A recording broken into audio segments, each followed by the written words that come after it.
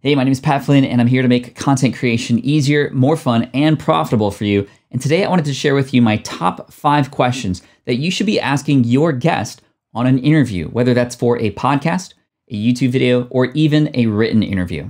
As you very well know, when it comes to an interview, it's the questions that the host asks that can be the difference between an episode that people pass on an episode that is noteworthy and gets shared. So make sure you stick around because these five questions will make a huge difference in your career as an interviewer. And make sure you stick around to the end because the final one is, in fact, the most powerful that I've used in almost every single podcast episode that I've done. Right before we dive in, make sure you hit that subscribe button if you haven't already. Hit that bell notification icon too so you can get more videos like this to help take your content to the next level. And if you haven't done so already, please subscribe to the Smart Passive Income Podcast. Over 400 plus episodes there, or the Ask Pat podcast with over a thousand episodes there to help you take your business to the next level. All right, let's count down, starting with number five. Why? Why? Why? Why? Why? You know, I think we're conditioned to just believe that this question, why, is so annoying right? We typically hear about kids asking this again, why, why, why, why? I have a couple kids myself and I completely understand how annoying it can be. As an interviewer, this is your most powerful tool because when it comes to the content that you're collecting from the person you're interviewing, when a person answers your questions, they're going to answer with a surface level answer. It's this question as a follow up, why? That helps them continue to go further and deeper, which is where the gold lies. So don't be afraid to ask why. In fact, your audience is going to be very appreciative because if they don't understand why something is happening the way it is or what a person is saying, then you, on their behalf, are going deeper so that they can understand too. Why is also great because it allows for reasoning behind certain decisions that were made too. And I don't think it's annoying at all. Now, obviously, you don't want to just use that one word. Actually, that would be a fun challenge. If I could do a complete podcast interview just asking that question why the entire time, that would be really funny. I'll save that for a later date. Anyway, next, Let's get to number four. Now, this question that you should be asking comes from the fact that a person who you're interviewing is likely not wanting to be rude. And as such, they might stop in the middle of a story or come to a pause such that you, the host, can take it whatever direction you want. I recommend if you like the story that's being told and you want to learn more, in addition to asking questions like why, if that makes sense, ask this What happened next?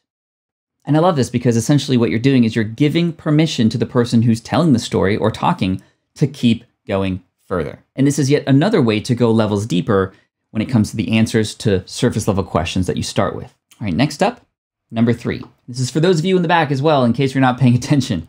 All right, number three, I love this one because oftentimes you don't just want to get facts and answers, you want to get feelings. You want to bring emotion. When you can have emotion come out in your interviews, whether that's happiness, sadness, laughter, whatever the case might be, when you bring emotion to the table as the host, it's better off for your show. It's more likely to be something that resonates with your audience, to be shared, to be remembered. So, the question I recommend you ask is this How are you really feeling in this moment? What were you feeling when this was happening? What was going through your mind? This is often the moment in certain interviews that I've done when the person who I'm interviewing, in fact, begins to either laugh or even cry. And there's been many cases on my show when the guest have, has cried, and I don't do it on purpose, although I kind of like it, because that means it's real.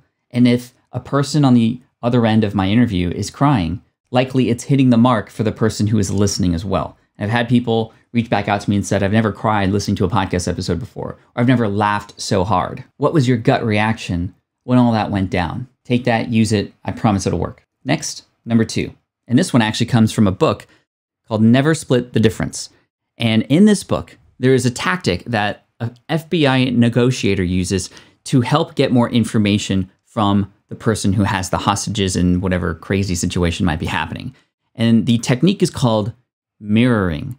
We mirror the person who just answers one of our questions. The way mirroring works is you simply repeat the same few last words that a person just said when they finish their thought. And by doing that, and actually creating an intonation that's sort of like a question, it's essentially another way to give permission to the person you're interviewing to keep going. The fact that you want to know more about it. And it's very simple because you don't have to make up any of the words. You just have to repeat the same words. So it might go down like this. If you're interviewing somebody and you're asking them about their favorite tool of the year, perhaps 2020, that they've used in their business, they might answer like this uh, one of my favorite tools is called Ecamm Live. It's a streaming platform that you can use to even do interviews and bring guests on. And I absolutely love it because I have been going live every day. You've been going live every day?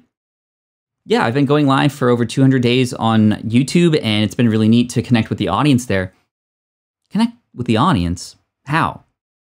Well, you know, it's live, and so there's there's there's a really intimate interaction with the people who seem to be there, and I've gotten to know many of them by name now. You see how this can just continually move forward by just simply mirroring, but by mirroring, that person is essentially guiding the conversation themselves, and you all you have to do is just repeat the last few final words in that sentence. Try it in the next conversation that you have, even if it's not an interview, maybe with a spouse or a kid. See what mirroring does. I promise you, it's going to unlock some really cool things.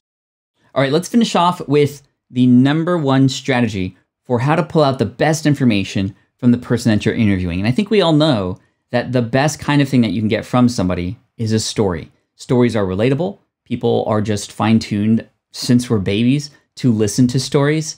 And in fact, it transports us to that place and makes things more real. So, your job is to pull a story from this person. So I learned this tip from Alex Blumberg from Gimlet Media and also the creator of the Startup Podcast on a Creative Live that I once watched. And he shared this strategy. He simply said, if you want to get a story from somebody, phrase it like this Tell me about a time when blank. Blank being whatever the topic is. Tell me about a time you ran a Facebook ad campaign and it didn't go according to plan. Tell me about a time when you went live in front of your audience and the technology failed on you. This was literally yesterday. Tell me about a time when you wanted to give up on your workout, but you kept going anyway. I guess technically that's not a question, but in fact, what it is you're doing is you're asking for the story. You're giving a person permission to tell the story. And then your job, after all of these questions, is to sit back and listen, which is often, especially for a podcaster, one of the hardest things to do. Yes, as a podcaster, listening is actually quite hard because you're thinking about the next question. But here's the other tip when it comes to interviewing, yes, listen, but also be genuinely curious. All of these tips here relate to this idea of being genuinely curious. That will guide you as you continue forward in your interviewing career. So, good job. Use those questions. Let me know what you think in the comment section below. Which of these five questions, in fact, are the most powerful for you and you're going to try out? Have you ever tried any of these? How do they work out for you? Let me know in the comment section below. And again, if you haven't done so already, hit that subscribe button so you can get more information to take your content to the next level. Again, I'm here to make it easy for you, here to make it fun, and here to make it profitable. Thanks so much. I'm Pat Flynn. Check out this video right here if you're ready for another one. I got another sweet video for you, and I look forward to uh, helping you out soon.